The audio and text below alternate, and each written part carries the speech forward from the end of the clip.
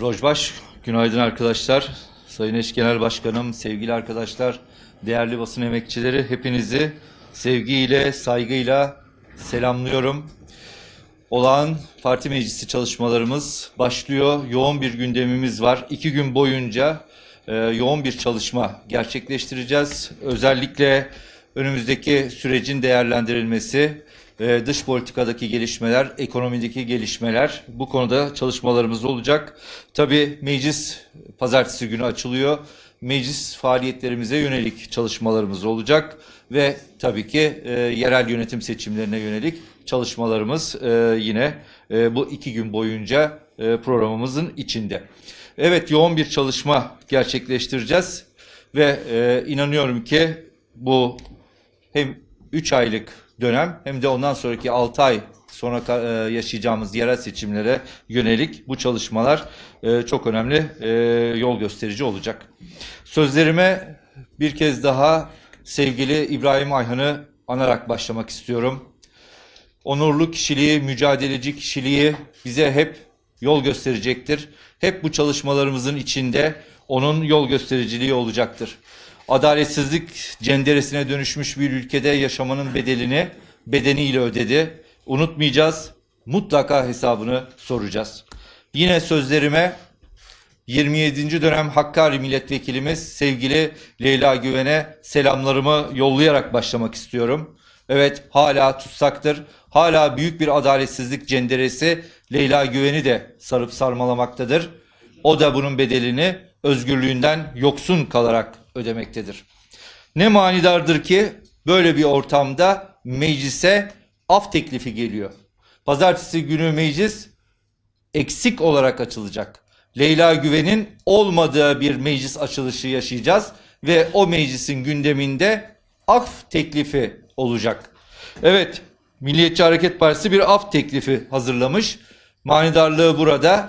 Aslında büyük bir adaletsizliği daha da adaletsiz bir yere çekecek olan bir zihniyetin bir af teklifi meclise gelecek akıl tutulmasını geçtik.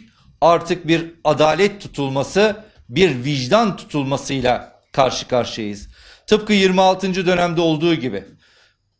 Geçen dönem eş başkanlarımız, milletvekili arkadaşlarımız bu parlamento çatısı altında vekillikleri düşürüldü ve tutsak edildiler. Bu adaletsizlik anlayışı devam ediyor. Devam ediyor. Onca adaletsizlik varken bakın nasıl bir af teklifi geliyor. Bu af teklifinin kapsamında nitelikli suçlara aflar var. Nitelikli hırsızlık, nitelikli dolandırıcılık, hatta suç örgütleri yani organize suç örgütleri nitelikli bir hale getirmişsiniz. Buna da af geliyor. Çok nitelikli bir af tasarısı olmuş. Evet. Ve buna kılıf hazırlarken de cezaevlerinin doluluğunu bahane ediyorlar. Cezaevleri çok doluymuş. Oradaki yaşam koşulları eee, sağlıklı değilmiş. Evet cezaevleri çok dolu. Oradaki yaşam koşulları sağlıklı değil. Çünkü cezaevlerinde işkence var. Cezaevlerinde kötü muamele var. Ve bunu gerçekleştiren de bu iktidar. Cezaevlerinde kötü muameleye maruz kalanlar, işkenceye maruz kalanlar bu nitelikli af teklifinin içinde zaten yer almıyorlar. Peki bu doluluk nereden kaynaklanıyor? Bakın bugün cezaevlerinde 67 bin tutuklu kalıyor. 67 bin tutuklu hem de uzun süre tutukluluk halleri yaşıyorlar ve bunların mahkemeye çıkmaları e, zamana yayılarak aslında peşin hükümlü bir ceza sistemi devreye sokulmuş oluyor. Cezaevlerinde 3085 çocuk kalıyor. Evet çocuklar cezaevinde. Cezaevlerinde 680 bebek var. Arin bebek cezaevinde. Cezaevinde hastalandı ve e, yaşam tehlikesiyle karşı karşıya. Cezaevinde binden fazla hasta tutsak var. Tıpkı Koçer Özdal'ın olduğu gibi 400'e yakın hasta tutsak ölmeye yatmış durumda. Evet cezaevi sorununu çözmek mümkün ama bu anlayışla mümkün değil. AKP ise son 5 yılda tam 79 cezaevi yapmış. Önündeki 2023 planlaması içinde her yıl 50 cezaevi yapma hedefi önüne koymuş. Yani zaten bir ülkeyi uyguladığı politikalarla açık hava cezaevine çevirmiş olan bu iktidar en büyük yatırımı cezaevleri konusunda yapıyor. Ve cezaevleri sayısı arttıkça bu ülkede adaletsizlik yükseliyor, derinleşiyor. Bir adaletsizlik cenderesine teslim oluyoruz. Bizim teklifimiz çok nettir. Biz çok açık bir şekilde bu ülkede adalet istiyoruz. Ve bu ülkeye adaletin gelebilmesinin yolu yargıya adalet gelmesinden geçiyor. Bugün yargı siyasi vesayet altındadır. Bugün yargı siyasallaşmıştır. İşte HDP'li milletvekillerinin, eş genel başkanlarımızın içeride olması, belediye eş başkanlarımızın tutsak olması, bugün binlerce demokratik siyaset içinde mücadele sürdüren arkadaşlarımızın cezaevinde alıkonulmaları bu adaletsiz sistemin sonucudur. Evet, şunu yapabiliriz. Meclise çağrımızdır. Madem bir af anlayışı hakim, herkes öyle ya da böyle ucundan tutmak istiyor. Gelin af yerine bir toplumsal barışı sağlayacak, bir mutabakatı gerçekleştirecek bir adım atalım. Meclisi Beştepe'nin vesayetinden kurtaracak şekilde çalıştıralım. Gelin kuvvetler ayrılığını gözeten, yargıyı gerçek anlamda bağımsız ve tarafsız kılacak düzenlemeler yapalım. Evrensel hukuk normlarında insan hakları referanslı bir yasal düzenleme yapalım. Tüm vatandaşları adeta teröristleştiren terörle mücadele kanununu kaldıralım. Demokratik bir anayasa yapalım. İşte o zaman toplumsal barışı inşa ederiz. İşte o zaman böyle nitelikli aflardan bahsetmeye, konuşmaya da gerek kalmaz. Tabi bunları yapamazsınız. Yapmayacağınızı biliyoruz. Ama biz bunun mücadelesini sürdürmeye devam edeceğiz. Demokratik bir ülkede yaşamak istiyorsak adaleti var etmek zorundayız.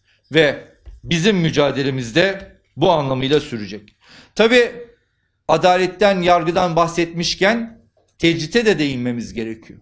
Evet, İmralı'da Sayın Öcalan'a uygulanan tecrit bu adaletsiz sistemin çok önemli bir başlığını oluşturuyor. Bakın Avrupa İnsan Hakları Mahkemesi kötü muamele yoktur diye bir karar açıkladı. Tecrit zaten kötü muameledir. Avrupa İnsan Hakları Mahkemesi kararıyla avukatların görüşmesine yönelik verilen disiplin cezasının aynı tarihe denk gelmesi aslında adaletin de devletler arası pazarlığın bir mevzusu haline dönüştüğünü çok açık bir şekilde bize gösteriyor.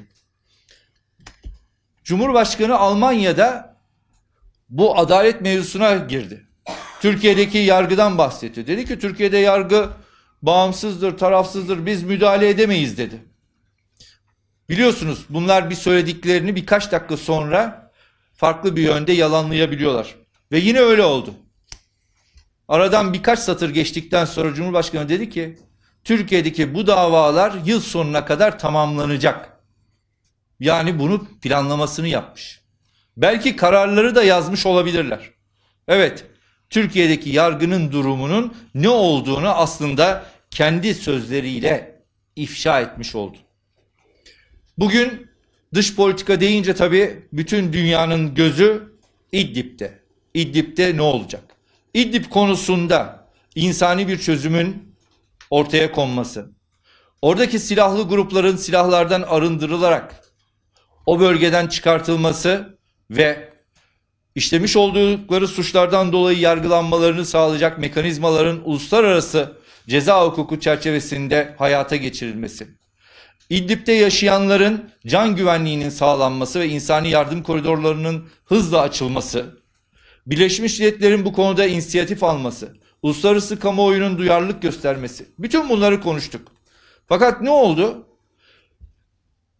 Rusya, ABD, İran, Türkiye gibi Suriye'ye müdahalede bulunan tüm dış güçler İdlib meselesi özelinde aslında Suriye'deki çözümsüzlüğü ötelemiş oldular.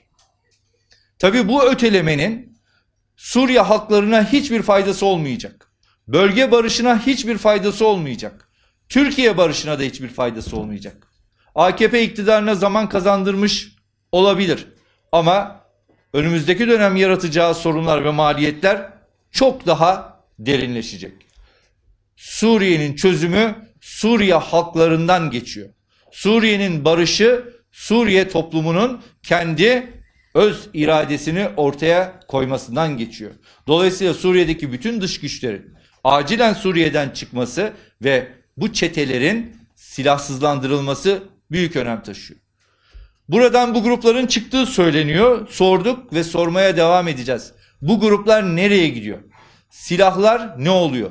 Bunlar silahlarıyla beraber nerede bulunacaklar ve akıbetleri ne olacak? Bunlara yanıt verilmiyor. Bu silahlı gruplar Afrin'e ya da Cerablus'a doğru mu çekiliyor? Çekiliyorsa burada nasıl konumlanacak? Ve burada kalmaya devam edecekler mi? Eğer böyle bir plan varsa bu dediğimiz gibi çözümsüzlüğün daha da e, kalıcılaşmasına neden olacaktır. Evet, Almanya ziyareti sırasında Cumhurbaşkanı'nın İdlib meselesi özelinde ama genelde göçmen meselesini koz olarak kullanacağını daha önce de söylemiştik. Almanya'nın kaygıları var, Avrupa'nın kaygıları var. Göçmen krizi, buraya gelecek olan göçmenlerin Avrupa toplumunda yaratacağı meseleler üzerine yoğunlaşıyorlar. Evet, göçmenlere yaklaşımları böyle olduğu sürece aslında Suriye'deki çözümsüzlükte kalıcılaşıyor.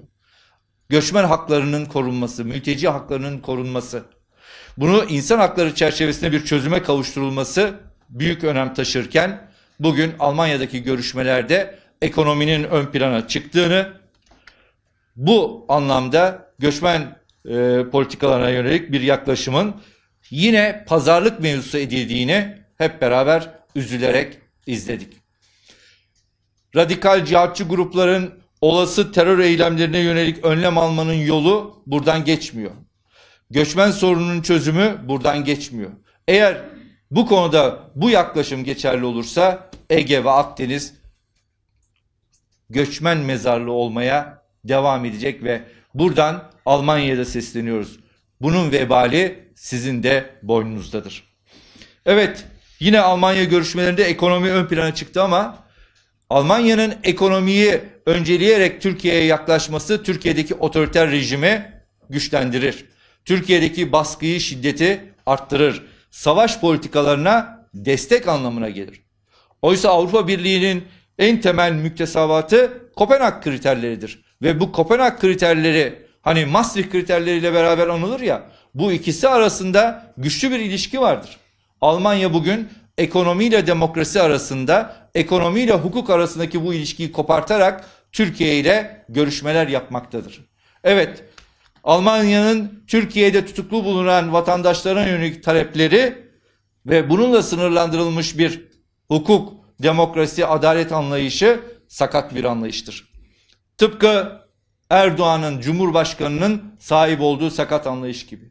Bir gazeteciye hızını alamayıp ajan diyebilecek kadar artık pervasızlaşmıştır. Artık bir e, dilim varmıyor ama e, bir idrak sorunu yaşamaktadır. Evet, bugün Türkiye'de yaşadığımız bu sorunlar Almanya'da bir kez daha bizzat Cumhurbaşkanı'nın ağzından ifşa olmuştur. Sorunlar çok. Sevgili arkadaşlar biliyorsunuz üniversiteler açılıyor. Okullar büyük sorunlarla açıldı. Üniversitelerde yine büyük sorunlarla açılıyor. Üniversiteler çölleşmiştir.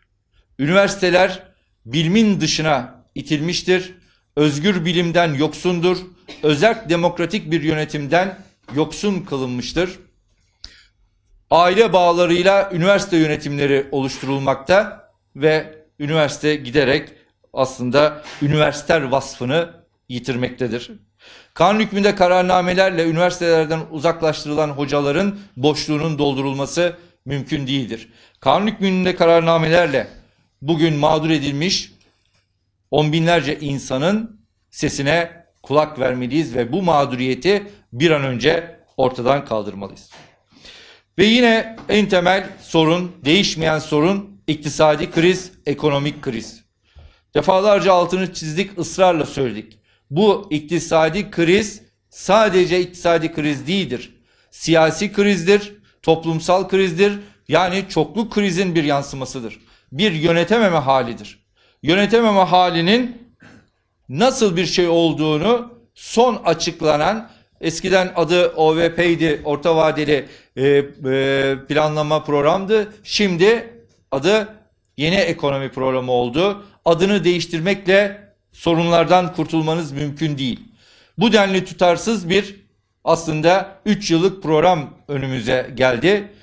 Programın haksızlık etmeyelim tutarlı olduğu tarafları var. Tutarlı olduğu tarafları 16 yıldır AKP iktidarının sürdürdüğü neoliberal politikalardır. Yine programa baktığımızda bu program çerçevesinde emekçilere, kadınlara, işçilere, işsizlere, yoksullara büyük bedeller ödetmeyi program hedefleri arasına almış. Önümüzdeki dönem işsizlik artacak, yoksulluk artacak ve bunu da programda çok net açık bir şekilde görmemiz mümkün. Yani yaşanan bu iktisadi krizin bu yanlış ekonomi politikalarının birikerek gelen 16 yıldır birikerek gelen bu yanlış ekonomi politikalarının bedelini yine halklara, emekçilere ödetme peşinde. Ve bunu da bu sistem, bu rejim denetimden azade bir şekilde yapma peşinde. Ama bir denetim işi yaratmışlar. Kendileri denetleyecek ve bu denetim raporlarına bağlı olarak da kendilerini ve ülkeyi pazarlayacak bir firmayla anlaşmışlar. Bu firma McKinsey firması bir danışmanlık firması. Bu danışmanlık firmasının en önemli özelliği ülkelerin özelleştirilecek kurumlarının pazarlanması. Yani önümüzdeki süreçte kamu bankalarının özelleştirilmesi gündeme alınmış demek ki. Bunu da bu firmaları eliyle oluşturacaklar. Türkiye'de güven endeksi düşerken güveni parayla satın almaya çalışan bir anlayış var. Bakın Merkez Bankası 7 hafta içinde 20 milyar dolar rezervlerinde erime yaratmış. Ne için? Dolar 20 kuruş düşsün diye. Ekonomi yönetimi bu denli kötü bir yönetim sergiliyor. Ve yine baktığımızda içine sürüklendiğimiz durum o kadar vahim ki hala buğday ithal eden, et ithal eden bir konumdayız. Bunca ormanı yakarsanız, bunca ormanı ağacı keserseniz, mera yasakları getirirseniz Türkiye'de tarım da bu hale sürüklenir. İşsizlik de artar, yoksulluk da artar, gelir dağılımı, adaletsizliği de artar. Evet, bu iktisadi krizin bedelini halklar, yoksullar, emekçiler, işçiler, kadınlar ödemeyecek. İşte önümüzdeki dönem tüm toplumu bu anlamda yan yana gelmeye, bu iktisadi krizin yüküne karşı biz bu bedeli ödemeyeceğiz diyerek örgütlenmeye, itirazlarını yükseltmeye davet ediyoruz. HDP bu konuda çalışmaları başlattı. Parti meclisi gündemimizde de bu konuyu ayrıntılı bir şekilde ele alıp değerlendireceğiz. Sevgili arkadaşlar son olarak tabii ki yerel seçimler, yerel seçim çalışmalarımız yoğun bir şekilde sürüyor. Şu iki soruyu önümüze koyarak yol alacağız, yol almalıyız diye düşünüyorum. Nasıl bir kent, nasıl bir yönetim istiyoruz? Bunun gerçekleşmesi için neler yapabiliriz? Bu çalışmaları sürdürmek. Emekçilerin kentini istiyoruz, kadınların kentini istiyoruz, gençlerin, halkların, farklı inançların bir arada olabileceği, eşitlikçi bir kamusal alanı var edebildiğimiz bir kent istiyoruz. Bu anlamda da çalışmalarımızı hayata geçirmek için emekçilerle, kadınlarla, toplumun tüm kesimleriyle, bütün halklar bir araya gelerek ittifakı gerçek anlamına kavuşturarak çalışmalarımızı önümüzdeki dönem yoğunlaştıracağız. Evet, burada tabii ki e, yerel demokrasi tezimizin, yerel demokrasi anlayışımızın toplumsallaşması, yaygınlaşması büyük önem taşıyor. İttifaklar Ankara'nın sokakları arasında, kulisleri arasında değil, sokakta, iş yerinde, mahallede gerçekleştiği zaman gerçek anlamına kavuşacaktır ve kentlerimize de Türkiye'ye de demokrasinin gelmesi açısından önemli bir adım atılmış olacaktır. Ben hepinize çalışmalarınızda başarılar diliyorum. Bu iki gün ve sonrasındaki 6 aylık dönemde çok önemli yol kat edeceğimize inanıyorum. Bu yerel demokrasi mücadelemiz, radikal demokrasi mücadelemiz, bu örgütlü mücadelemiz yerellerden başlayarak bu ceberrut iktidara karşı, bu baskıcı iktidara karşı demokrasi ve barış mücadelesini yükseltecektir. Hepimizin yolu açık olsun.